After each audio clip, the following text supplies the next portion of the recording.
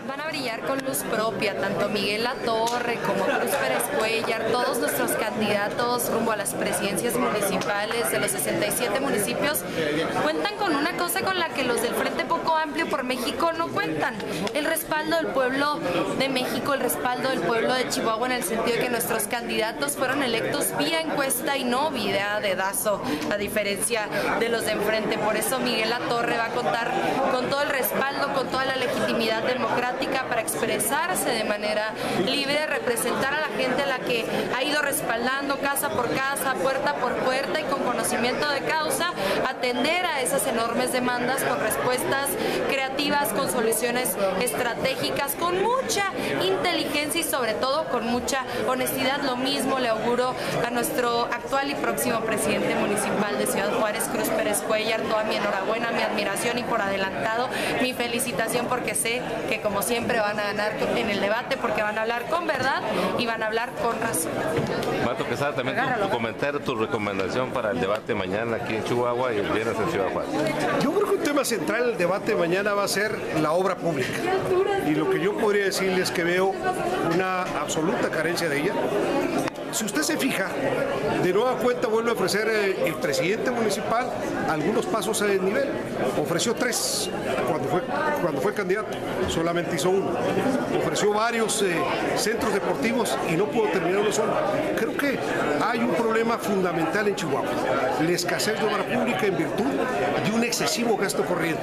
Eso creo que va a ser un tema central en el debate de mañana. Y en Ciudad Juárez el próximo viernes, ¿qué le recomiendas a Cruz Pérez Cuellar?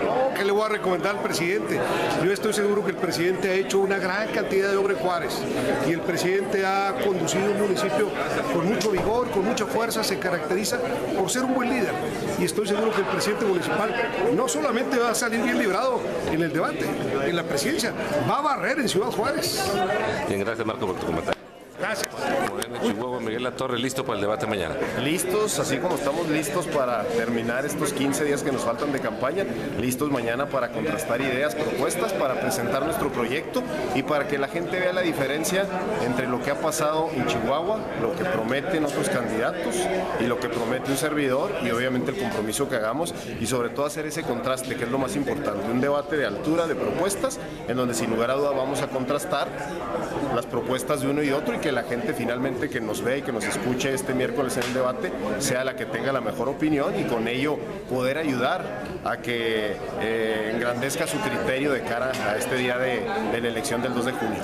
¿Por un debate sería suficiente o tú crees que debió haber habido más? Mira, la campaña dura 35 días. Si fueran más de un debate, tal vez sería complicado por temas de las agendas. Yo encantado, ¿eh?